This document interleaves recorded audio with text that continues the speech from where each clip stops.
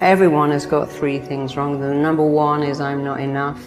The second one is I'm different, so I can't connect. And the third is I really want something like freedom from depression or success, but it's not available.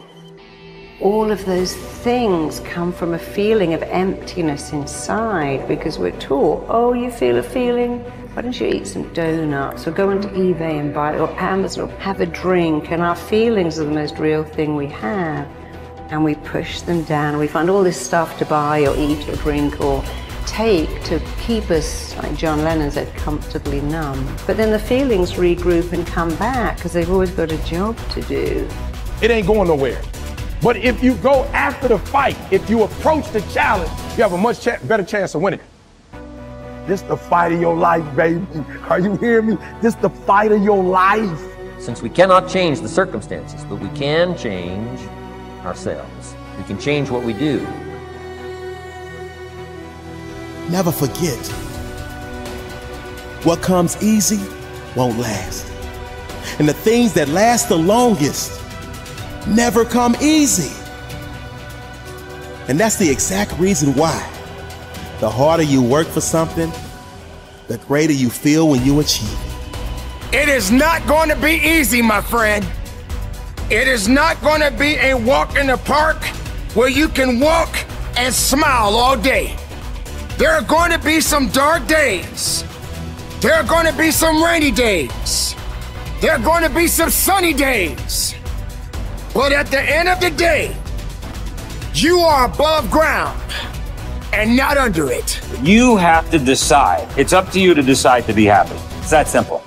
It's not about if I had this thing, if I felt this way, if I was with this. There's no if.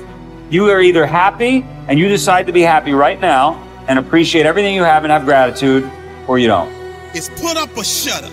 Survive in advance. Win or go home. And that's why you spend all those hours grinding. That's why you spend all those hours pushing yourself to the limit.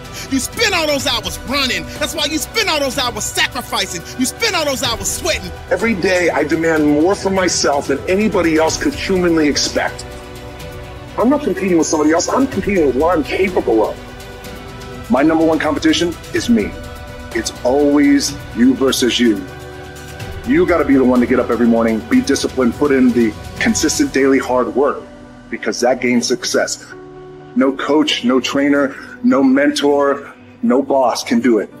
You versus you. Show me your character. Remain disciplined. Stay strong. When it all seems hopeless, keep plugging away. Nothing can stop you if you don't stop for anything.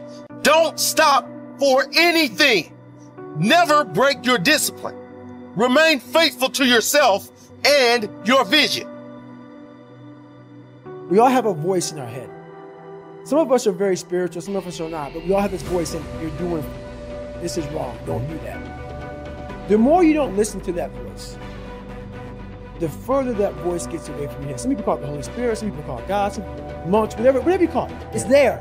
We all have it. It's the right or wrong voice. But the more we don't listen to it, the more that voice goes away.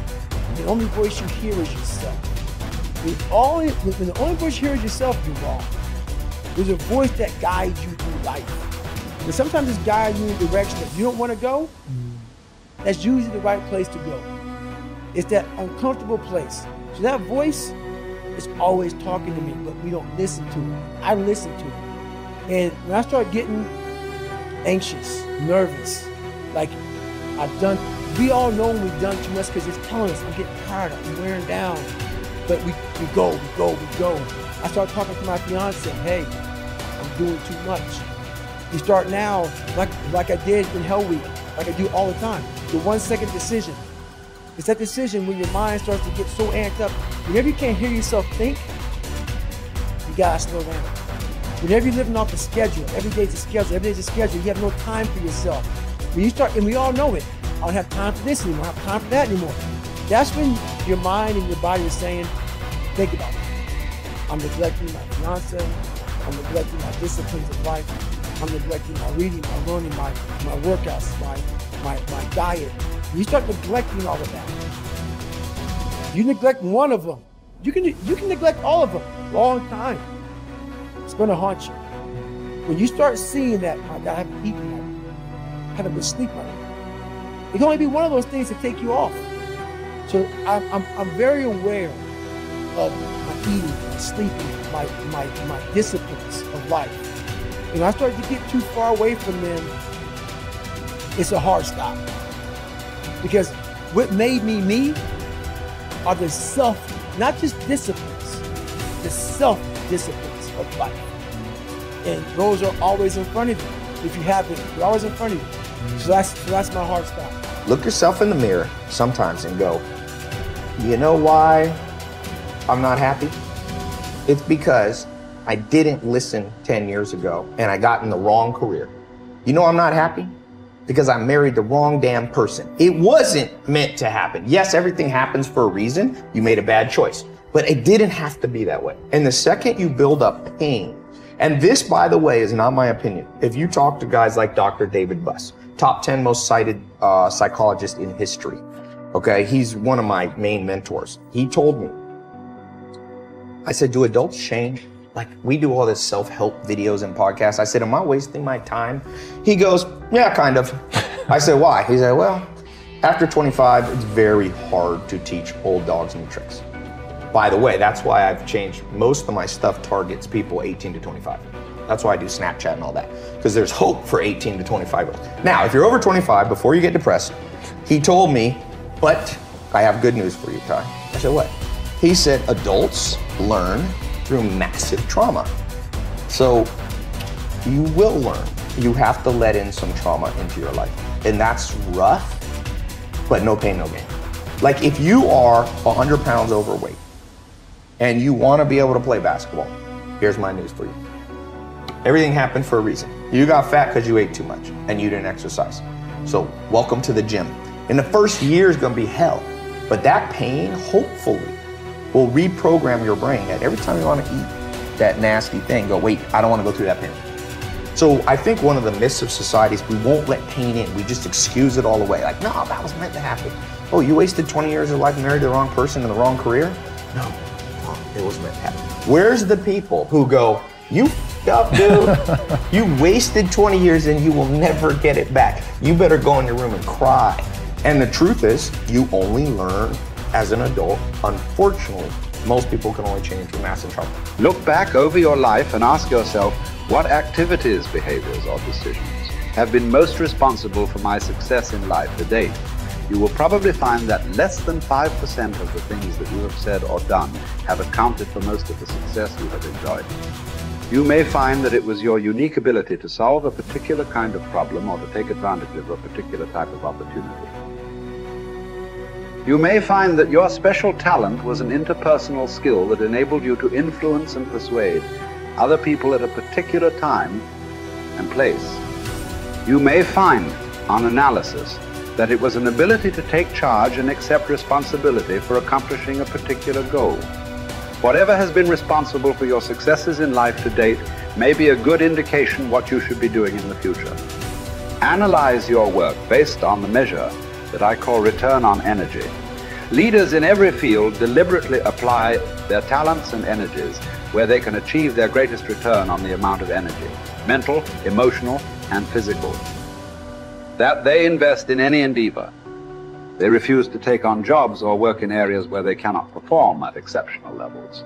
They treat themselves as valuable resources and they spend their energies very carefully.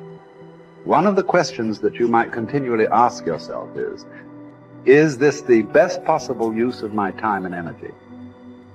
Is what you are doing right now the most valuable thing that you could be doing, given your particular combination of talents and abilities? Often answering this question will help you to see that there is a vast difference between what you are currently doing and what you should be doing if you want to be fulfilling more of your potential. Once you have chosen your ideal job or occupation for this stage of your career, your biggest responsibility is to make the decision to become very good and then to become excellent at what you do. In a lengthy study on successful Americans, the Gallup organization discovered that expertise, or being recognized by your peers as one of the very best in your field, was one of the essential ingredients for success in American life. We said before that that self-confidence comes from positive knowing rather than positive thinking. It is only when you know that you are outstanding in your chosen field that you really feel terrific about yourself and that you enjoy high levels of self-confidence. Men and women who are good at what they do and who know that they are good at what they do are very different from those who are only average. They walk and talk and dress and behave differently. They have an attitude of assurance and certainty about themselves that causes them to stand out in any group. They have a deep down sense of self worth and self confidence that is evident to everyone around them. The quality of a person's life is in direct proportion to their commitment to excellence, no matter what their chosen field.